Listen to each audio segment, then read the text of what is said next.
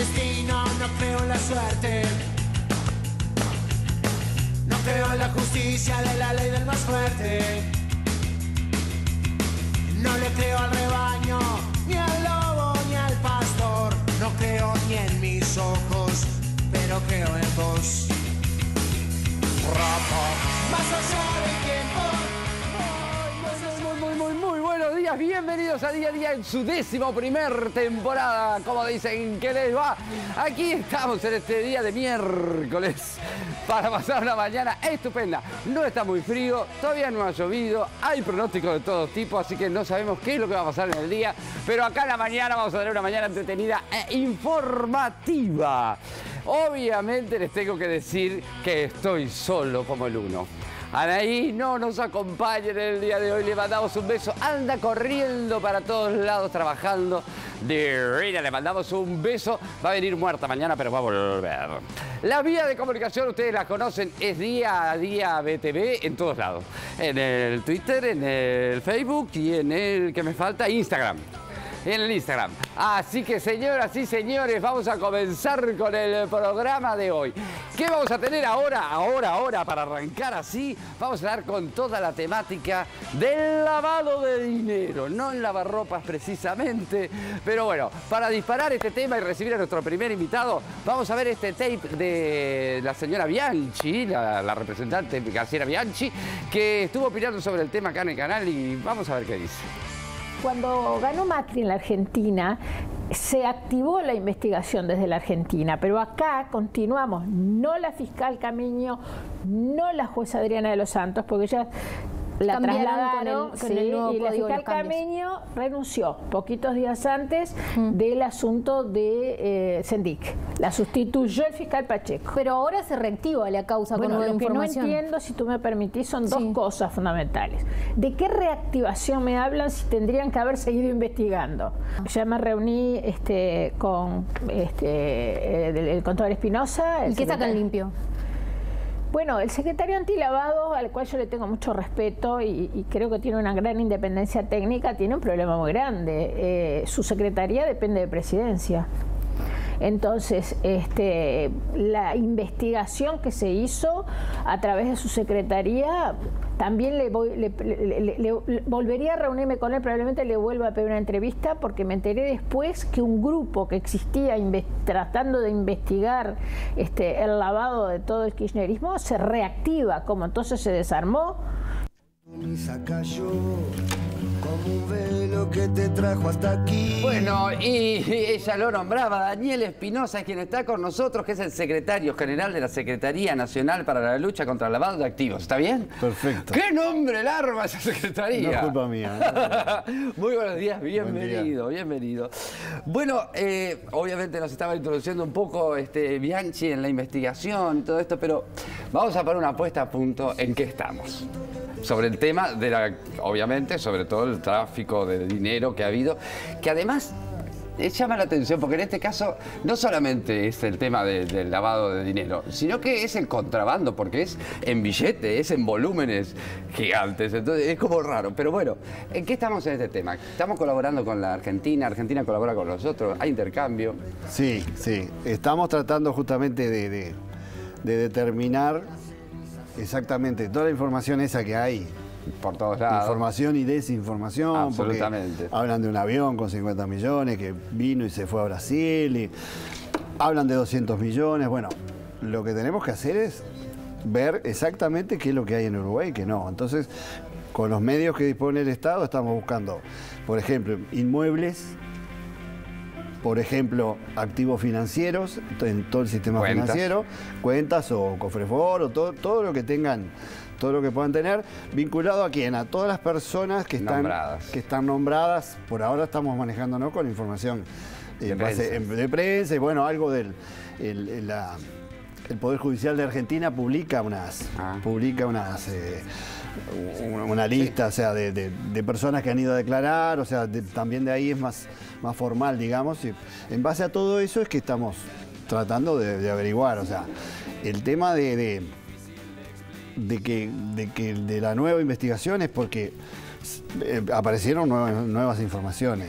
Lo que, lo que dice la, la- la doctora Bianchi, a, a quien también le tengo mucho respeto porque hemos trabajado mucho en la comisión del Parlamento, hemos trabajado mucho con la ley, ayudó mucho con la ley. O sea, en realidad, esta, esta no, no sé qué quiere decir con que la oficina nuestra está en presidencia. Había O sea, cerrado la no, es que se detuvo por, por orden, o sea, en realidad la, la- la investigación la, la- la lleva eh, eh, un juez o un fiscal. En, en el nuevo proceso, o sea, no, no depende de, De la- de ni de presidencia ni del Banco Secretaría. Central, o sea, todos los organismos públicos somos auxiliares Claro, de la ¿eh? justicia. De la justicia. Absolutamente. Entonces, el, el que tiene la iniciativa es el, el- fiscal, en este caso, en el nuevo procedimiento, antes era el juez. Y no, no más allá de que presidencia pudiera haber dicho no sigan o sigan, No depende de no, eso. no depende de eso. O sea, que no, no, no. Claro, porque como todo lo demás estamos al servicio de Exacto, la justicia. exacto. Ahora, ¿hay una causa abierta en Uruguay? Exacto, sí, sí, sí. Sí. Eh, de hecho, el- el- lo que yo dije, decía que se reactivó es. Está abierta un- una causa por el dinero de Lázaro Báez. Ajá. En 2013-2014, al, al que se le complementó, o sea, terminó eh, en, en el embargo de la estancia del entrevero. Es verdad. ¿tá? Que ahora se está pidiendo que se decomise para, para que la- se la quede el Estado. Había otros inmuebles que ahora, por ejemplo, vinculado a, a Carlos Wagner, un, Sí. un- un constructor que se había visto en la primera etapa de la investigación y como no había una actividad delictiva, estaba ahí. Ahora se va a pedir el, el- el decomiso, el decomiso no, el embargo, Claro. para investigar. O sea, se, se empezó a mover porque hay nueva información. Ahora, de última también el lavado de dinero implica, por ejemplo, si yo compro una estancia en 15 millones, la vendo en, eh, 20 millones y ahí es donde yo li- limpié ese dinero. O sea que también puede ser que no, ya no tengan la propiedad. También, pero digo, Ah. yo al, al- al comprar, Sí, estoy lavando porque estoy. Claro, ya estoy lavando. me- digamos, Claro. De, repente no lo, no lo estoy separando del origen, o sea, es fácilmente detectable. Lo que, lo que normalmente se hace es mover el dinero en varias, en varias capas como para impedir que se siga. Ahora, si yo logré comprar, ya la ve. El tema es, mientras tengo el efectivo, no la ve. ¿ah? Ahora, es comprobable algo, porque, a ver, hablando de, de todas las cosas de prensa, ¿no?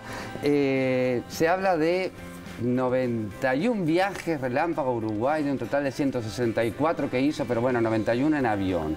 Otro en helicóptero que vino también, en la propiedad del lobista Jorge Corcho Rodríguez.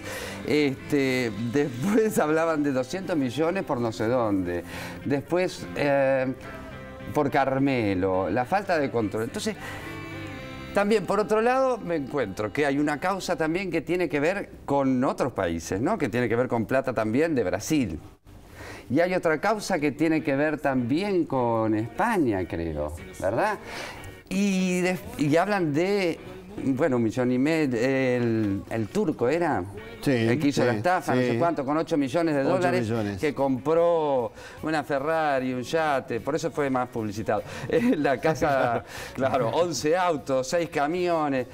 Y después me encuentro, por otro lado, con eh, Astori, Astori que dice, Uruguay no participó de, en ninguna forma del camino de este dinero. Y Tabaré Vázquez que dice que Uruguay está blindado y no, no, puede, no se puede lavar dinero, que no lo encuentro ahora. Acá, Vázquez.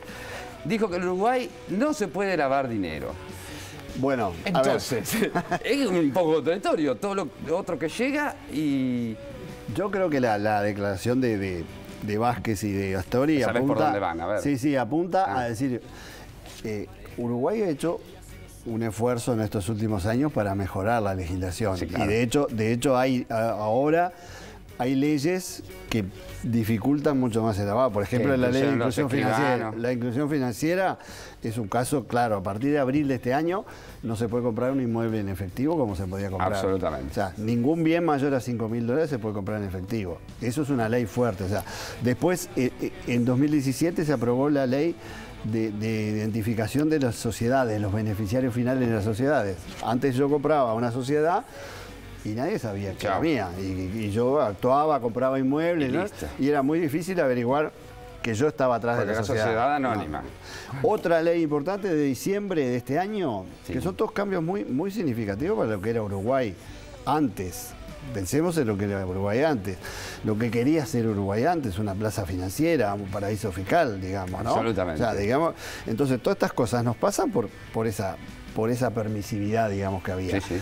Lo que hizo, lo que se ha hecho es evaluar eso como un riesgo y los casos que tenemos a la vista Claro.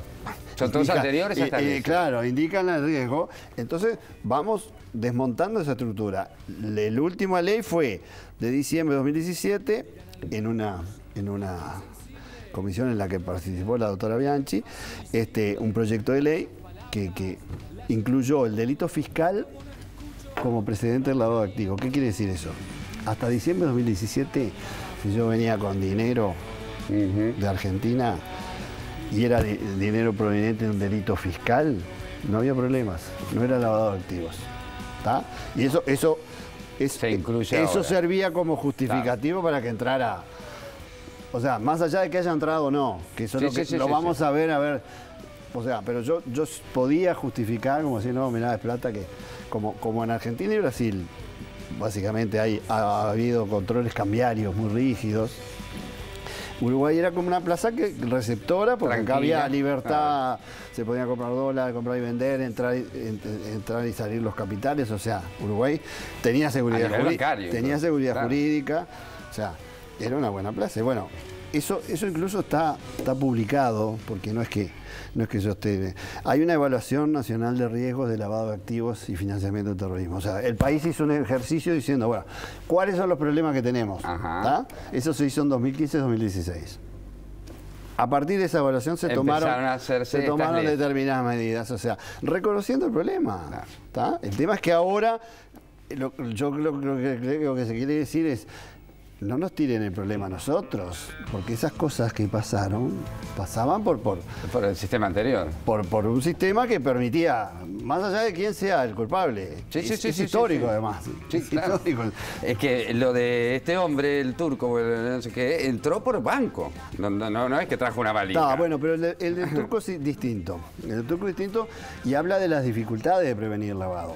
Porque si, si yo tengo una empresa en Turquía, formal, yo tengo cuentas de banco, abro una cuenta en Uruguay. Este turco además tenía una- creó una empresa Maldonado. Que, que, eh, que vendía materiales de construcción, y- o sea, tenía una, una apariencia formal. Entonces ya ahí es más difícil encontrarle. Eh, El tema, ¿cómo cambió? Cambió cuando se enteraron todos que el dinero era proveniente de una estafa. Porque en realidad él acá no cometió, él no cometió ningún delito, la Vos no plata sabías. vino por banco. Podía se ser una empresa legal donde estaba Es que- generando es ese que- dinero. Es que una parte era legal. Claro. Y la, la- Sí. la empresa Maldonado en realidad. Sí, en no, realidad vendía. Él lo planteaba en su momento como una empresa real. Después fue, la gente se dio cuenta que era un fraude. Bueno, está, pero. eh. Era legal. no mientras digo, nadie- legal la de acá. Ah, también. Esa, esa realmente trabajaba, no era una empresa pantalla así como. Y dice, por ejemplo, eh, los bancos por no reportar transferencia, los escribanos por no denunciar, eh, los abogados por no... Ahora están todos obligados, ¿verdad? Están todos obligados. Escribano, abogado, banco, todos tienen, si hay un movimiento gran, grosso, Tienen la obligación de preguntar. Esa es la primera obligación, o sea, decir, fulano, usted, ¿de dónde trajiste? de- ahí está. Claro. El origen del dinero, en todo caso, dependiendo del volumen de la operación, pedir algún justificativo o no. Y si ven algo inusual, le informan a- al Banco Central. Si no están cometiendo delito también ellos. No deli- en realidad, en principio, no, no sería delito. delito. sería un tema administrativo. El- si yo sé, Si soy, soy cómplice, sí. ahí sí, Claro. ahí sí, claro. Pero si, si yo lo que, lo que tengo es una negligencia o no cumplir la normativa, Después, podría- hay, estuvo por ahí hablando Lizzie Dini. Lizzie Dini que hablaba de que en, en estas maniobras tenía que haber una... Acá. Y Dice, lamentablemente hay corrupción a nivel oficial, complicidad, dice, hay complicidad a nivel oficial de este lado, ¿no? Del país, que no, no tiene nada que ver contigo. Claro, pero eso me lleva también a las fronteras, eso me lleva también a... ¿Te acuerdas en el libro salió el avión de ANCAP que hacía viajes también después de que no había aduana hacia Argentina? Nunca digo porque a la ciudadanía se le tiran cosas y después no, no, no, sabemos la respuesta. Entonces, no estaba viniendo plata ahí, ¿qué estaba haciendo? ¿Por qué iba? Iba vacío, nadie salió a responder nada. Entonces son como agujeros que le queda a la ciudadanía que dice al final, van a decir todos como dice Dini, acá hay eh, complicidad de, este lado también, porque si no, no se entiende. Es como raro. Yo creo que es sano discutir estos temas y, y que se den las explicaciones. Por Las ejemplo, hoy, hoy miércoles eh, sé que el ministro Bonomi va a ir al Parlamento por el tema migratorio. Canon, Enrique Canon está citado al Parlamento también por el tema aduana. Supongo que la, la dinasia por el Claro. tema aviones, que, cada estar. uno explique su, situación. O sea, yo no, no, no, no puedo hablar por, por Claro. situaciones que no, no conozco. No. o sea, pero Ahora, lo que pasa es que- entiendo que... puedan generarse dudas. Claro. ¿eh? Porque además hay fantasías mal, Ahí está. mal fundadas, pero fantasías que uno dice, no, de Uruguay no puede salir o entrar un avión sin que el Estado sepa. Parece que sí. No puede salir o entrar un barco con gente o con cargas sin que nadie sepa. Parece que sí. Entonces, a, mí- a uno se imagina, se termina la aduana, se cierra el aeropuerto, porque no puede salir nada ni entrar y siguen funcionando. Entonces, vos decís, es como raro. No sé si está mal la idea que nos hacemos nosotros o mal lo que está pasando. Porque es extraño. Yo creo que ahí está. Eh, blindar la frontera no es fácil, más Claro, allá de, de- obvio. Entonces, por eso hay que poner énfasis en decir, la persona que viene hoy con un bolso de plata, ¿tiene, tiene, ¿Tiene facilidades, o no? Claro. Ahora, ahora está mucho más complicado, porque ahora va a tener que ir con ese bolsito a un banco o a una, una empresa Porque no va financiera. a poder ni comprar una propiedad. No con puede esa comprar plata directo, no que puede. eso antes se discutía. Por ejemplo, Al eh, no poder ser en efectivo, no, no, no. ahí está, ahí está. No pueden. O sea, exacto, exacto, exacto. Entonces lo, lo- lo único que va a poder hacer es dejar la plata guardada. Otra, otra Pero no la va a poder lavar. Claro. O, o le va a, a resultar muy difícil lavar porque si yo vengo con un bolso de plata en efectivo, no tengo explicación. Otra de las cosas que cuando hablábamos de, todos estos, los 11 autos, los 6 camiones, el Yate, el Ferrari y todo eso, entonces explicaba que, claro, que muchas de estas cosas, de estos bienes, se encuentran a nombre de Testaferro, ¿no? Entonces, no solo por él, pero me planteo a otro nivel, ponele, un director de una empresa pública o diputado, un, un ministro, y vos está siendo corrupto y está cobrando coimas como en Argentina, ponele, y llevándose, y, pero no tiene ningún bien a nombre de él. ¿Cómo haces para poder rastrear eso? Bueno, Ustedes, hay, hay tienen un equipo que está investigando ahora 20... Están investigando como locos ustedes. Sí, sí, pero hay una hay una ley, Sí. esa ley que decíamos que obliga a identificar a, a los beneficiarios finales de las sociedades. Sí, ya o te- sea, para de ahora tenemos un, un paso más. En el Banco Central, si encontramos una sociedad, eh, eh, tenemos posibilidad de consultar la- la- las personas que son los verdaderos dueños. Dueños de todas maneras, si hay un testaferro de verdad, eso no queda. Lo que tenemos la posibilidad es de, de- antes ni siquiera teníamos eso, o sea, no, Sí, antes, antes ni siquiera nada. era obligatorio. Entonces ahora tienen que mentir, ya hay posibilidad de detectar. Y hay un concepto que se llama persona políticamente expuesta. Opa. ¿eh? Persona políticamente Me expuesta. O sea, que es de, de- de- de los estándares la- de prevención de lavado que dice, le dice a los bancos, a los escribanos, a todos, usted tiene que tener cuidado especial cuando opere con una persona políticamente expuesta, sus familiares o sus allegados notorios. Entonces, ¿qué quiere decir? Si el chofer de un político Exacto. ¿eh? Se O- compra una diga, estancia. Alguien conocido, o el secretario, Claro. un político. Se compra una estancia, hay que tener ojo, hay que tener cuidado y eso debería, debería averiguarse más y reportar al Banco Central. O sea, es muy difícil. Es bravo. El tema del testaferro es un Es tema bravo, muy difícil de- ¿Cómo llegas a estos 11 tipos que tienen autos, poner de este hombre? ¿Y cómo sabes? Porque algunos será hermano o, o- o hijo o esposa, pero otros van a ser socios claro. que no tienen un vínculo sanguíneo. que muchas veces no es notorio, o sea, porque si es público yo puedo decir, no, este, este está Este está vinculado todo el día a, con él. Está vinculado a tal. Ahora, si no es una persona más o menos conocida, digo, Ahora, acá decía, bueno, justamente que estaban est- investigando a 20 propiedades. Ustedes ahora sí que estaban, podían ser de esta gente que está involucrada, y 25 estudios jurídicos. que, que, que No, pero son cosas distintas. o sea, A ver. Nosotros, lo de los 20 sociedades y o propiedades que vienen. eh, hay una lista, o sea, digamos, ¿cuántas, cuántas personas o sociedades hay vinculadas al, al caso Argentina, digamos? sí. Esa lista que hemos ido confeccionando, bueno, ahora ya estamos como en 60, 70, de, de- de todo lo que va surgiendo, ¿no? Sociedades, empresas y personas, porque tenemos 17 arrepentidos, 20 y pico de funcionarios públicos, funcionarios argentinos sí. involucrados, ya estamos 40 y pico. Los de los Después, viajes. eh, claro. eh, tenemos casi 70, digo, eso es lo que se está haciendo con el Banco Central, cada uno, el Banco Central en el sector financiero, nosotros en el no financiero, buscar bienes para, para ver si, justamente para ver si efectivamente hay dinero. Y alguna de las empresas nombradas, o empresarios nombrados en todas esas listas, tenía acá incidencia, me refiero a empresas grandes o, o contratos con el Estado, o alguna, ¿hay Bueno, alguna que- que el presidente le pidió, a- le pidió un informe al Ministerio de, de Transporte justamente para, para, una- para determinar si... hay- había una que estaba por una, una licitación, creo, pero puede haber alguna empresa que esté, Sí. que esté trabajando en alguna, en alguna obra en el país. Sí, Es que- no sabemos. No sabemos. No sabemos. No sabemos. Y hay fechas, o sea, ponele, eh, estamos en septiembre. En, en noviembre la justicia argentina entonces sí va a hacer un desembarco y va a tirar toda la información para acá o algo. o No, lo que pasa es que la justicia argentina está en medio de una investigación Claro, y están apareciendo nuevos, nuevos, Nuevos términos, nuevos nuevos- nuevas nombres, empresas claro. y viene un arrepentido nuevo y, y involucra a otro funcionario. O sea, yo supongo que capaz que un mes, dos, por lo menos, para que Uruguay pueda pedir y decir, dame, dame todo esto. ¿Mm? Es un poco lo que se está esperando para no pedir y después hay que pedir de nuevo. Bien. La tranquilidad que nos queda a los hijos de Doña Pocha, a los vecinos, es que esta ley de que no se puede comprar en efectivo limita muchísimo toda esta entrada, porque es lo que te decía, eran volúmenes que ya era contrabando, porque más allá que fuera dinero, hay que traer todo ese volumen de papel. Hoy por hoy, eso en Uruguay a partir de...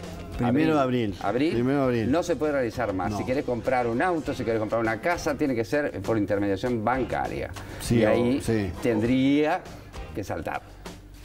Tendría O tendrías que tener una muy buena explicación, porque si, te lo vuelvo a repetir, si, si venís con una bolsa en efectivo escondido, no me podés convencer que, que- que es algo formal.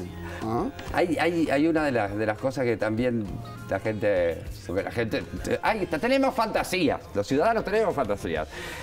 Y dicen, pa, qué cantidad de hoteles que hay en Uruguay.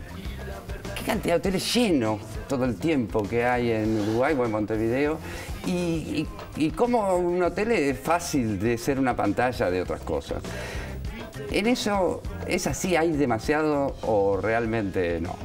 No, yo no te- digo, No es un tema que hayan... no, no, eh, eh, en la evaluación de riesgos de Uruguay, o sea, justamente lo que, lo que se habla es otro, otro, otra área que siempre se la habla es del fútbol, por ejemplo, Ah, el el deporte grabado en el Sí. fútbol. Nosotros lo que vimos en esa evaluación es, puede haber en los hoteles, no sabemos, pero no es, no es la más importante. Ajá. Nosotros estamos concentrados en, ¿Cuál es la más en el tema inmobiliario, Inmobiliario. El tema zonas francas y en el tema administración de sociedades, justamente esto de, sociedades de sanas. sociedades para que gente del exterior, y ahí nombraste uno de con Brasil, del caso Sí. Odebrecht, había sociedades Claro. uruguayas en el medio, y eso, eso lo vimos, o sea, ¿por qué? Porque también había cierta debilidad en cuanto al control. O sea, entonces esos tres, o sea, porque, y, eh, claro, esas tres áreas son las que a, a juicio, porque las- tampoco se puede claro. atacar todo al mismo No, no, tiempo, no, o sea, pero la gente tiene que, grande y- o la gente tiene que saber que cualquier negocio sirve para lavar. Sí, ¿no? El hotel es más fácil porque inflo la cantidad de. Claro. Pero, pero, cualquier negocio puede, puede servir igual. para canalizar, claro, Entre, entre la actividad lícita y la otra. metés la me- plata. meto la plata. Claro. Meto la plata. Hago digo. dos kilos de pan y digo, di 80 kilos de pan. Facturo más, está. en teoría facturo más. En realidad, con cualquier empresa podrías hacer ese tipo de... Por esa es la dificultad de investigar el lavado de activos. Claro. Y por eso es que a nivel internacional se le ponen esas obligaciones, o sea, no, no es un invento uruguayo, es decir, el escribano, el inmobiliario, el banco tiene que preguntar. Es porque no se, las autoridades no lo pueden investigar desde un escritorio, o sea, Y otro digo, que capaz que también me decís que no tenés nada que ver, pero cuando se habló de todos los Panama Papers eh, Sí. y las empresas offshore en no sé, las islas de británicas de no sé dónde y todo eso, que ahora ningún político podría tener una sociedad o una cuenta en ese... Pero, ¿qué significa? ¿Y qué es? ¿Por qué es? Si es groseramente un lavado de, de dinero, eso entonces hay que... no, el, No es. no. Porque si no te O dirías, sea, no, no se puede, ya está. Ahí está. El tema de un paraíso fiscal, digamos, Ajá. es un lugar donde yo puedo tener dinero. Y no pagar Muchas veces, claro, no, no pago pagar impuestos. Es- esa jurisdicción generalmente no coopera demasiado Con las el investigaciones de exterior. ningún lado. Entonces sirve por seguridad para, para, para inversiones lícitas, pero también para esconder cosas.